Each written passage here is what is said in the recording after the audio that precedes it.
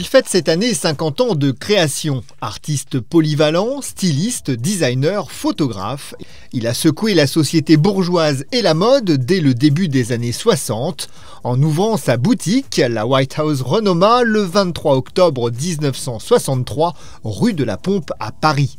Costume ultra cintré, veste croisée à gros boutons dorés, pantalon pas de def, standard de l'armée revu et corrigé, velours coloré, Cinq ans avant 68, il s'affranchit déjà des conventions. Son esprit rock et dandy emporte comme une vague Minet et star internationale en quête d'une mode que l'on porterait comme un étendard, une revendication. Warhol, Lennon, Yves Saint-Laurent, Catherine Deneuve, Dali, Picasso, la liste des fans est longue. On y trouve même le grand Karl, c'est dire. Rencontre avec Maurice Renoma. Maurice Renoma, c'est 50 ans de création et surtout de révolution. Du pantalon pas de def au blazer cintré, Renoma est le précurseur d'un style androgyne et séducteur. Des Rolling Stones à Jimi Hendrix, en passant par Serge Gainsbourg, Maurice Renoma a conquis les plus grandes stars des années 60. D'abord, on n'a pas travaillé avec, c'était plutôt des amis. On a choisi euh, Serge Gainsbourg parce qu'il fallait, euh, en fait, euh, on était très, très impliqués sur le marché japonais. Je crois que c'est la première marque à avoir présenté la griffe au Japon, ça a été un énorme succès. Euh, les Japonais euh, ont vraiment adoré, d'abord parce qu'ils sont très, très, perfectionnistes.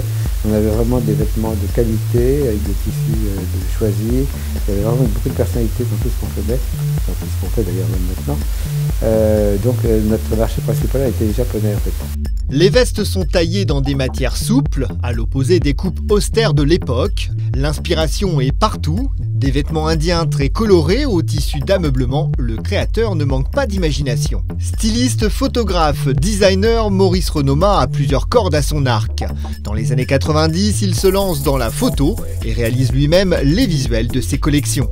Maurice Renoma s'est aussi amusé à réunir James Dean et Marilyn Monroe, deux icônes du cinéma et de la jeunesse de l'époque. Le, fait, de, quand j'ai commencé à, vouloir faire des photos de, James Dean, je suis rentré un peu dans son histoire.